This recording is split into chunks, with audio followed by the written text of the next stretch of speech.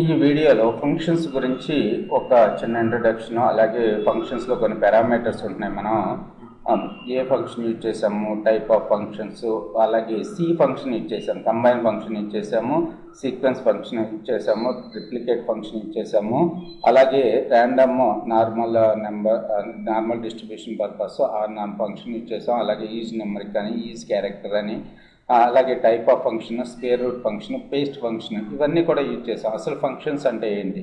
Function అనేది ఒక predefined code okay so వాటిని మనం చాలా ఎఫిషియెంట్గా మన ప్రోగ్రామింగ్గా చాలా ఎఫిషియెంట్గా వాడుకోవాలి. ఇంతకన్నా ఎక్కువ డెఫినేషన్ నేను చెప్పదలుచుకోలేదు ఫంక్షన్స్ ఫంక్షన్స్లో మనకి యూజర్ డిఫైన్డ్ ఫంక్షన్స్ ఉంటాయి సిస్టమ్ డిఫైన్డ్ అంటే మనం ఆల్రెడీ మనకు ఆర్ లాంగ్వేజ్తో పాటు వచ్చేసిన ఫంక్షన్స్ ఉన్నాయి. మనం మ్యాక్సిమం ఎక్కువ టైము మనం సిస్టమ్ డిఫైన్ అంటే ఆర్ లాంగ్వేజ్తో పాటు వచ్చిన ఫంక్షన్స్ అన్నిటిని కూడా ఎక్కువగా మనం తెలుసుకుని అందులో ఏమేమి పారామీటర్స్ని పాస్ చేసుకోవాలి అనేది తెలుసుకున్నట్టయితే మనకి ఎక్కువ యూస్ఫుల్ అవుతుంది అనమాట దాని పర్పస్ నేను file new new file new ఫైల్లోకి వచ్చి ఆర్ స్క్రిప్ట్ని తీసుకుంటున్నాను. తీసుకున్న తర్వాత యాక్చువల్గా మనకి సి అనే ఒక ఫంక్షన్ ఉంది. చూశారు మనం సి ఫంక్షన్ ఓకే?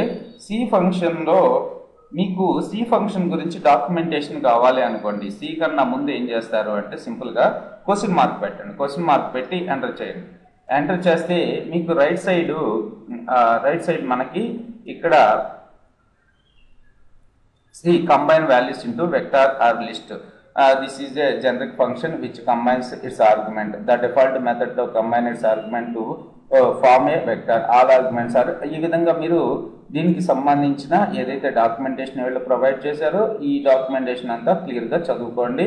Uh, చదివితే దీని గురించి కొద్దిగా నాలెడ్జ్ వస్తుంది అనమాట మనకి. ఓకే తర్వాత సీక్వెన్స్ ఫంక్షన్ తర్వాత రిప్లికేట్ ఫంక్షన్ రిప్లికేట్ ఫంక్షన్ అంటే ఏంటి? సీక్వెన్స్ ఫంక్షన్ సీక్వెన్స్ ఫంక్షన్ గురించి ఒకసారి చూద్దాం. S e q sequence sequence generic regular sequence sequence is sequence from అని చెప్పి అలాగే టూ అని చెప్పి అలాగే బై అని చెప్పి అలాగే లెంత్ డాట్ అవుట్ అని చెప్పి అలాగే అలాంగ్ విత్ అని చెప్పి కొన్ని పారామీటర్స్ ఉన్నాయి. ఫ్రమ్ పారామీటర్ టు మనం సీక్వెన్స్ను వాడినప్పుడు ఏ విధంగా సీక్వెన్స్ను వాడుకున్నాం? మనం sequence of ఎస్యూకి of sequence of one comma one comma twenty అంటే మనకు అవుట్పుట్ ఏమొచ్చింది? ఒకటి దగ్గర నుంచి ట్వంటీ వరకు వచ్చింది. మరి ఒకటి దగ్గర నుంచి వన్ కామా ట్వంటీ అని ఇచ్చినప్పుడు ఒకటి దగ్గర నుంచి ట్వంటీ వరకు ఎందుకు వచ్చింది అనేది ఇక్కడ మనకి ఇది క్లియర్గా ఎక్స్ప్లెయిన్ చేసింది. ఓకేనా?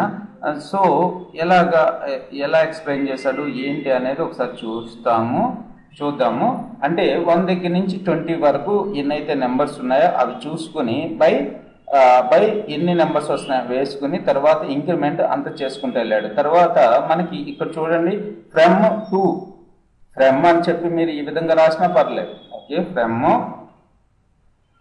equals to to equals to. ఇప్పుడు చూడండి మనకి అలాగే వచ్చిందో అవుట్పుట్ కూడా. To equals to one to twenty అని వచ్చింది. నేను ఈ- ఈ పారామీటర్ నేమ్స్ వాడి దాన్ని ఇటు దీన్ని ఇటు చేస్తాను. Okay to equals to from equals to one ఇప్పుడు మనకు అవుట్పుట్ వస్తుందా? అవుట్పుట్ వచ్చింది ఓకే? Um, రైట్ ఇక్కడ ఒక ఫార్టీ పెడదాం. ఫార్టీ పెట్టి అవుట్పుట్ చూద్దాం. రైట్ కానీ మీరు ఈ పారామీటర్స్ నేమ్ ఆడుకోకుండా దాన్ని ఇటు దీన్ని ఇటు చేంజ్ చేశారనుకోండి అప్పుడు అవుట్పుట్ రాదు. తర్వాత మనకి ఇంకో థర్డ్ పారామీటర్ ఏంటి? బై ఎంత ఇంక్రిమెంట్ చేసుకుంటా వెళ్ళాలి మనం. కామా బై ఈక్వల్స్ టు అని రాయండి. By equals to by equals to three అని ఇచ్చాను ఇప్పుడు చూడండి మనకి వన్ దగ్గర నుంచి ఫార్టీ వరకు త్రీ ఇంక్రిమెంట్ చేసుకుంటే మనకు అవుట్పుట్ చూ చూపిస్తుంది. అలాగే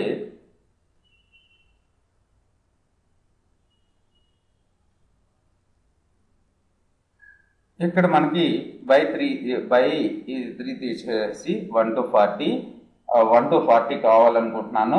లెంత్ డాట్ అవుట్ అని చెప్పి మనకి ఇచ్చాడు. L e n g l e n g length dot out equals to ఒక హండ్రెడ్ అని ఇస్తున్నాను. అప్పుడు ఏమవుతుంది? అవుట్పుట్ ఏ విధంగా వస్తుందో చూడండి. వన్ దగ్గర నుంచి ఫార్టీ నెంబర్స్ మనకి వన్ దగ్గర నుంచి ఫార్టీ నెంబర్స్ మనకి హండ్రెడ్ నెంబర్స్ ఇచ్చింది. ఓకేనా so one one point three nine nine one point seven eight seven so ఈ విధంగా హండ్రెడ్ నెంబర్స్ వరకు ఇచ్చారు మనకి. రైట్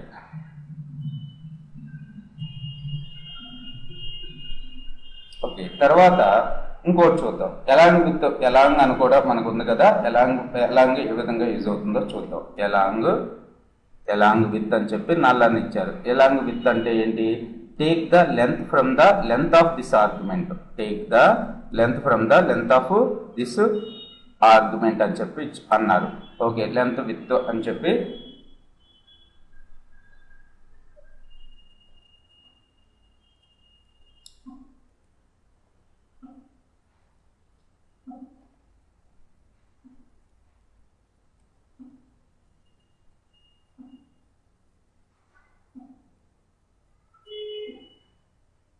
ఇక్కడ చూడండి ఇక్కడ ఎగ్జాంపుల్స్ లెంత్ అవుట్ లెవెన్ అని చెప్పి ఇచ్చారు అలాగే బై టూ అని ఇచ్చారు తర్వాత వచ్చేసి బై పై అని కూడా ఇచ్చారు పై అనేది ఒక నెమరికల్ కాన్స్టెంట్ అలాగే బై త్రీ అని ఇచ్చారు sequence of one comma six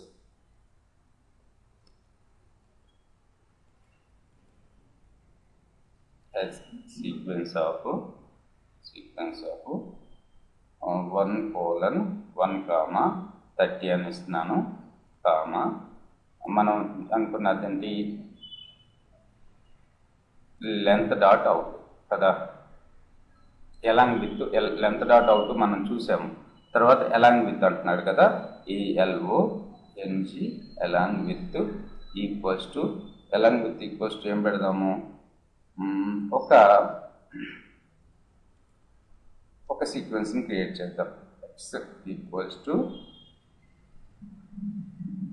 x equals to combination of combination of 2 comma 5 comma 3 అని ఇచ్చాను okay? So along with x అని ఇస్తున్నాను ఇక్కడ. ఇప్పుడు అవుట్పుట్ మనకి ఏమొస్తుంది చూడండి మొత్తం ఎగ్జిక్యూట్ చేద్దాం దీన్నంతా.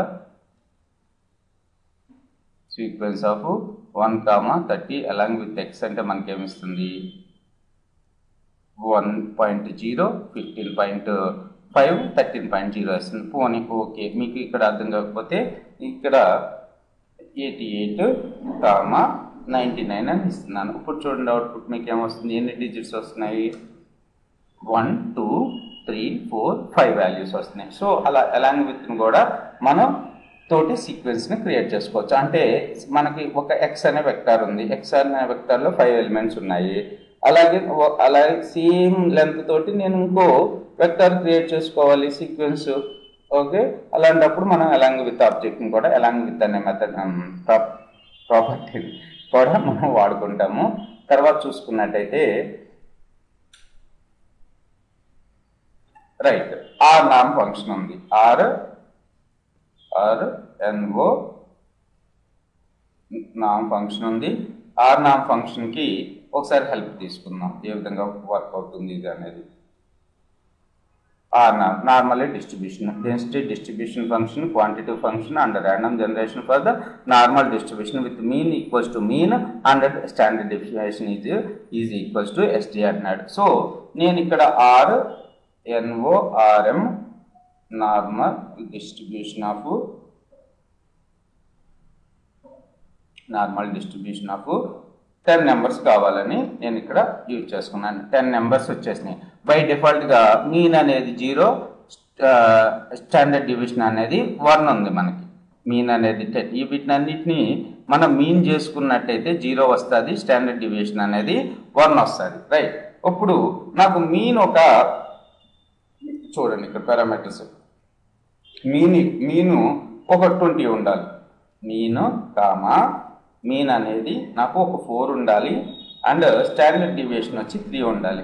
దీని ప్రకారంగా మనకి మనకు వచ్చేసినాయి చూడండి ర్యాండమ్ నెంబర్స్ మనకు అవసరం అవుతాయి ఒక్కొక్కసారి. అంటే నాకు ఒక ట్వంటీ నెంబర్స్ ఇవ్వండి నార్మల్లీ డిస్ట్రిబ్యూటెడ్ వాల్యూస్ కాకపోతే మీన్ వచ్చేసి ఫోర్ ఉండాలి స్టాండర్డ్ డివియేషన్ వచ్చేసి త్రీ ఉండాలి అని అడిగినప్పుడు మనం ఈ విధంగా క్రియేట్ చేసుకుని ఇవ్వచ్చు నెంబర్స్ రైట్ సో ఈ విధంగా ప్రతి ఫంక్షన్ గురించి మీరు ఒక క్వశ్చన్ మార్క్ పెట్టుకుని ఆ క్వశ్చన్ మార్క్కి సంబంధించిన డేటాను చదువుకుంటూ మీరు ఓన్గా ప్రాక్టీస్ చేసుకుంటా వెళ్ళండి. తర్వాత చూసుకున్నట్టయితే మనకి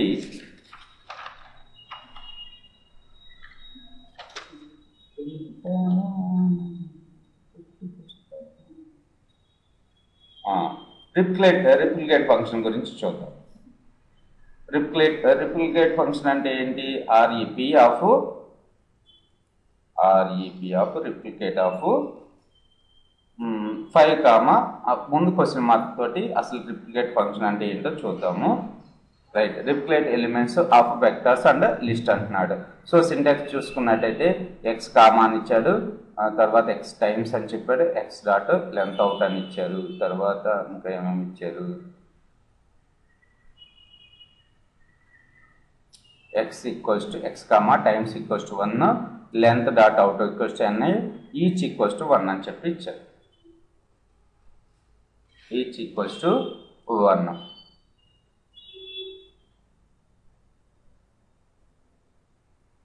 times ఏది మరి?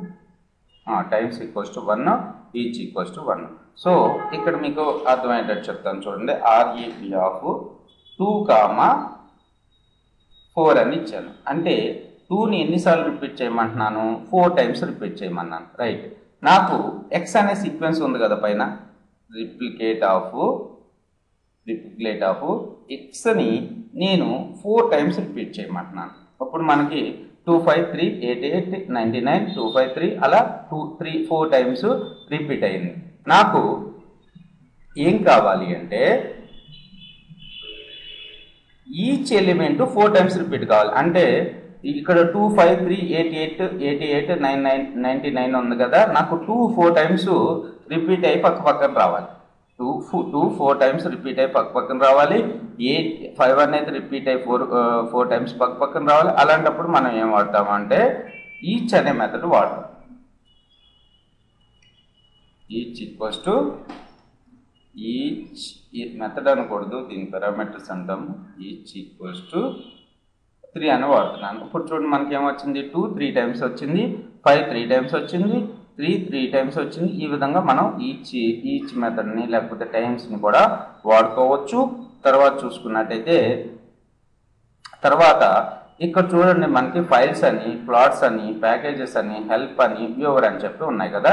ప్యాకేజెస్ అంటే ఏంటంటే packages are collection of r functions data and compiled code in will well defined format the directories where packages are stored is called libraries అని చెప్పి మనకి ఓ డెఫినేషన్ ఉంది. ఫస్ట్ ప్యాకేజెస్ గురించి చూడండి. Packages are collection of r functions. ప్యాకేజెస్లో ఏముంటాయంట? Functions ఉంటాయి. అలాగే డేటా ఉంటుంది. అలాగే కంపైల్ కోడ్ ఉంటుంది. అలాగే అన్ని కలిపి ఒక వెల్ డిఫైన్డ్ ఫార్మేట్లో ఉంటాయని చెప్పి అంటున్నారు. ప్యాకేజెస్ ఆర్ కలెక్షన్ ఆఫ్ మీరు గూగుల్లో సెర్చ్ కొట్టి వాట్ ఈస్ ప్యాకేజెస్ ఆర్ అని సెర్చ్ కొట్టినట్టయితే మీకు డెఫినేషన్స్ కనపడతాయి. అవన్నీ ఓ రెండు మూడు డెఫినేషన్స్ నోట్ చేసుకుని వాటిని బాగా ప్రిపేర్ అవ్వండి. ఇక్కడ మనకి ఏమేమి ప్యాకేజెస్ ఇన్స్టాల్ అయి ఉన్నాయంట మన సిస్టంలో అసలు బై డిఫాల్ట్గా ఈ ప్యాకేజెస్ ఉన్నాయి. ఈ ప్యాకేజెస్ ఏవి కూడా యాక్టివేట్ చేసి లేవు. ఓకేనా ఏ ప్యాకేజ్ కూడా యాక్టివేట్ చేసలేవు మీరు సింపుల్గా దీన్ని ఇలా కలెక్ట్ చేసుకుంటే ఈ ప్యాకేజ్ అనేది యాక్టివేట్ అయిపోయి ఉంటుంది. ఓకే? అలాగే లైబ్రరీస్ అంటే ఏంటంటే ప్యాకేజెస్ అన్ని కలిపి ఉన్న వాటిని లైబ్రరీస్ అంటాం అనమాట the directory where packages are stored is call the directory. Directory గురించి కమింగ్ వీడియోస్లో ఎక్కడైనా వచ్చినప్పుడు చెప్తాను. ఇప్పుడు సారీ లైబ్రరీస్ గురించి చెప్తాను. ఇప్పుడు ప్యాకేజెస్ గురించి. అంటే ఒక్కొక్క లైబ్రరీలో చాలా ప్యాకేజెస్ ఉండే ఛాన్సెస్ ఉన్నాయి మనకి. ఓకేనా? మనం జిజి ఇక్కడ చూసుకున్నట్టయితే ఒక ఒక ప్యాకేజ్ అనేది మనకి వద్దు. ఈ మ్యాట్రిక్స్ ప్యాకేజ్ మనకు వద్దు అనుకుంటే దీన్ని ఇలా సెలెక్ట్ చేసుకుని ఇక్కడికి వెళ్ళి రిమూవ్ కొట్టేసినట్టయితే ఈ ప్యాకేజ్ అనేది మన సిస్టంలో నుంచి డిలీట్ అయిపోయి ఉంటుంది. మన ఆర్ ప్రోగ్రామింగ్లో నుంచి డిలీట్ అయిపోతుంది అనమాట మరి డిలీట్ అయిపోయి మళ్ళీ ఎప్పుడన్నా మనకు అవసరం వచ్చింది అలాంటప్పుడు మరి ఎలా ఇన్స్టాల్ చేసుకుంటాము?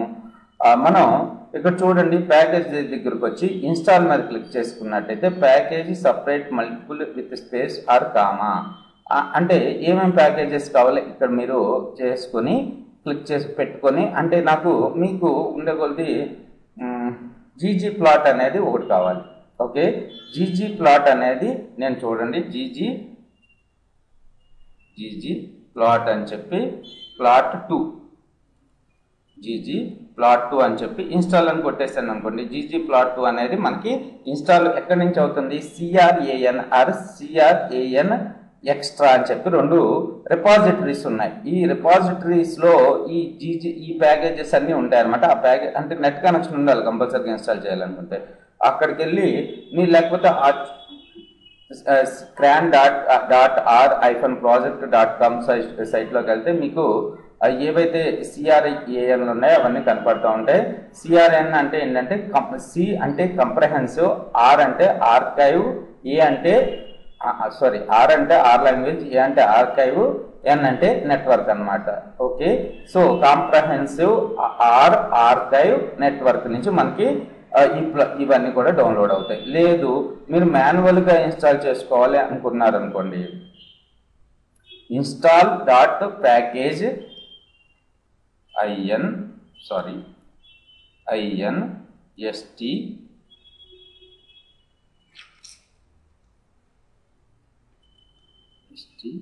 A L dot package packages మీకు ఏ ప్యాకేజెస్ అయితే కావాలో ఆ ప్యాకేజ్ని GG GG P L O T two GG plot టూని ఇన్స్టా ఇప్పుడు ఎంటర్ చేయండి. Control enter GG plot two ఇప్పుడు చూడండి.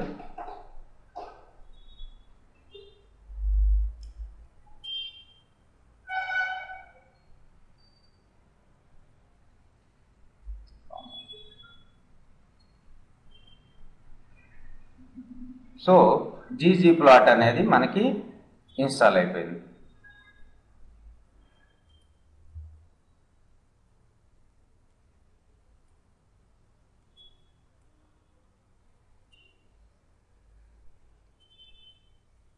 ఇక ఉంది.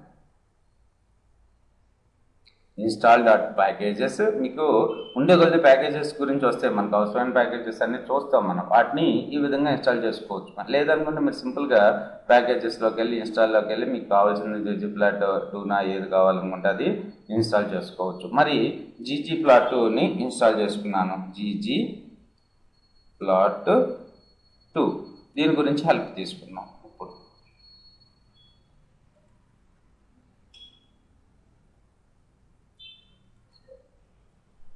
యూట్యూబ్ ప్లాట్ అన్నాను జీజీ ప్లాట్